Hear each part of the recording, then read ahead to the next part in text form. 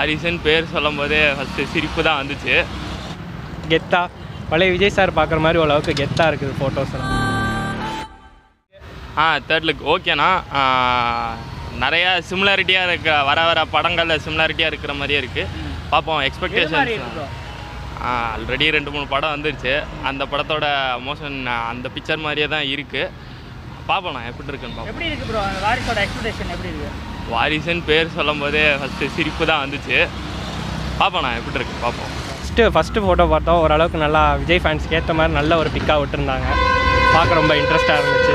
So அடுத்தடுத்த big எதிர்பார்த்தோம். ஓரளவுக்கு இந்த குழந்தைங்களோட இந்த எடுக்கிற ஃபோட்டோ ஸோ பார்க்குறப்ப சம்திங் டிஃப்ரெண்ட் ஸ்டோரியாக தான் இருக்கும்னு நினைக்கிறேன் எதிர்பார்க்குறோம். இப்போ தேர்ட் லுக் எப்படி இருக்கு பார்க்குறப்ப?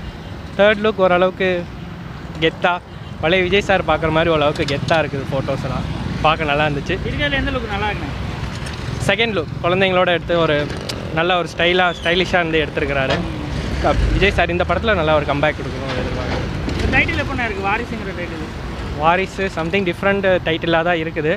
ஸ்டோரி எப்படி இருக்குன்னு நம்ம பார்த்தா தான் தெரியும். ட்ரைலரில் ட்ரைலர் ரொம்ப எதிர்பார்க்குறோம். பார்த்தேண்ணே சூப்பராக இருக்குண்ணே மூணு ஃபோட்டோவுமே சூப்பராக வேறு லெவலாக பண்ணியிருக்காங்க. படம் நல்லா இருக்குன்னு தான் நினைக்கிறேன். எது எது உங்களுக்கு ரொம்ப பிடிச்சிருக்குண்ணே இன்றைக்கி விட்ட ஃபோட்டோ வெரி நைஸ்ண்ணே ஃபேமிலி ஸ்டோரியாக தான் இருக்கும் போல். பார்ப்போம் எப்படி இருக்குன்னு தெரில பெயரை பார்த்தாலே எப்படி தான் இருக்குது ஃபேமிலி ஸ்டோரி மாதிரி தான் இருக்குது. பார்ப்போம் எப்படி இருக்குன்னு. வந்தால் தான் தெரியும். லுக் எப்படி ப்ரோ இருக்கு? எந்த லுக் உங்களுக்கு பிடிச்சிருக்கு? மூணு லுக்கில் ஃபஸ்ட் லுக் ஓகேண்ணா கொஞ்சம் நல்லா இருந்துச்சு.